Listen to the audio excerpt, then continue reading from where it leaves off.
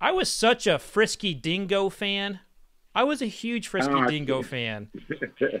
What what happened to that show? I thought that was the best thing that uh, Adult Swim put out. While I was kind of in mixtape oblivion, figuring out what I was going to do next, I got asked by Matt them, the guys at Frisky Dingo, to to to be essentially be the the arch villain of the show, which I'm a fan of villains. This villain was not a very good villain. Funny is, uh, uh, well, no, no, I wasn't Killface. I'm sorry, I was um Taqu'il. I was Talil. Taqu'il. Taqu'il.